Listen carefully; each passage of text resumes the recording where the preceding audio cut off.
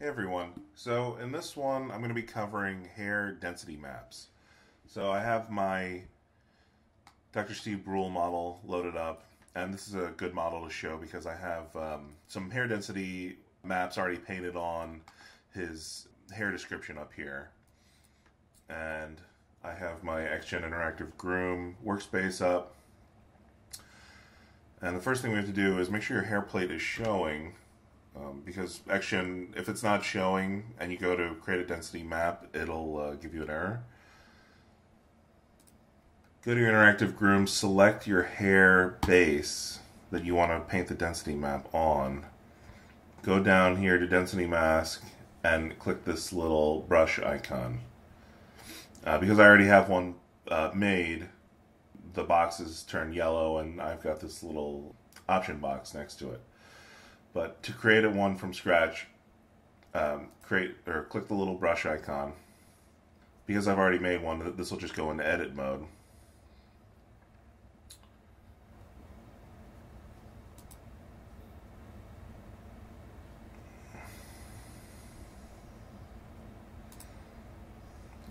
And it might take a minute to load.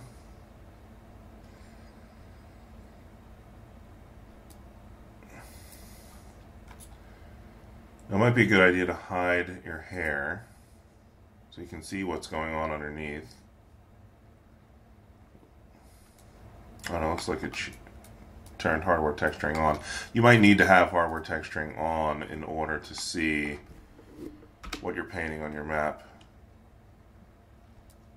So let me hide. Actually, let me just isolate the plate.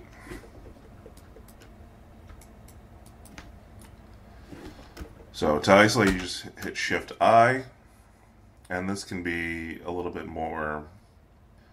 This can be a little bit easier to work with if you want to just work on one specific item in your scene.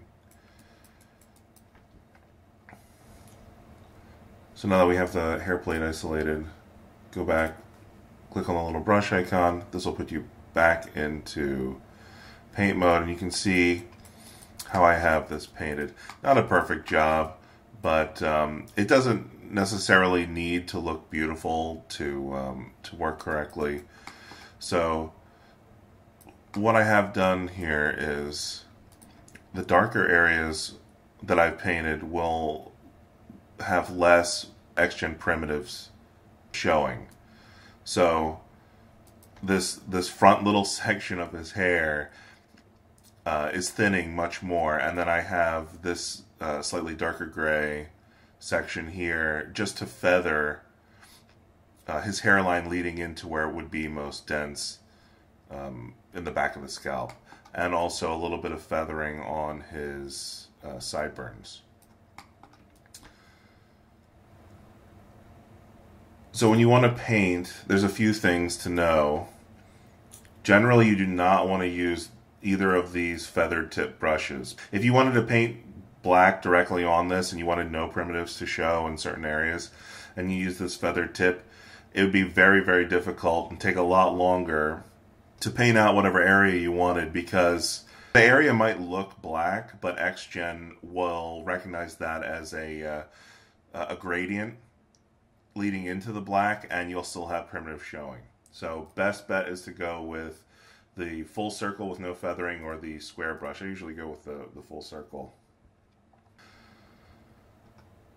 Or another thing to note, you might want to have the save texture on stroke.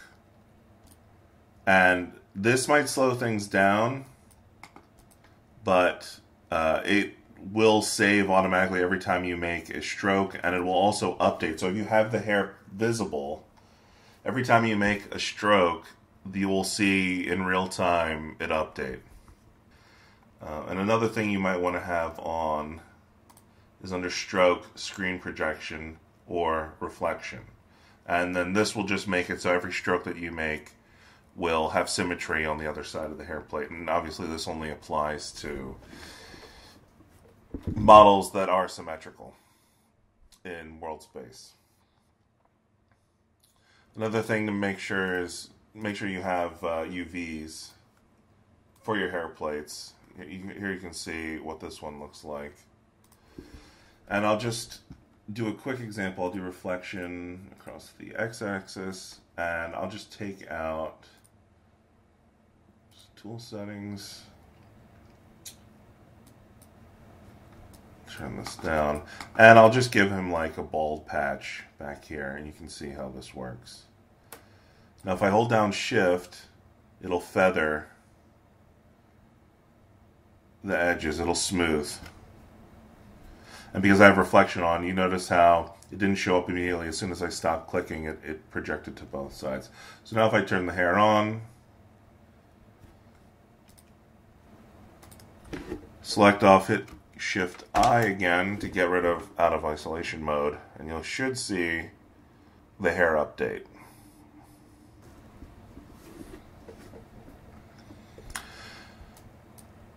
And now he's got a, uh, a bald patch back here. And you can see how here the hair is a little bit thinner. You can see how the, the hair maps, or the, the density maps that I have painted on there are already affecting uh, this front region. So that's pretty much it for density maps.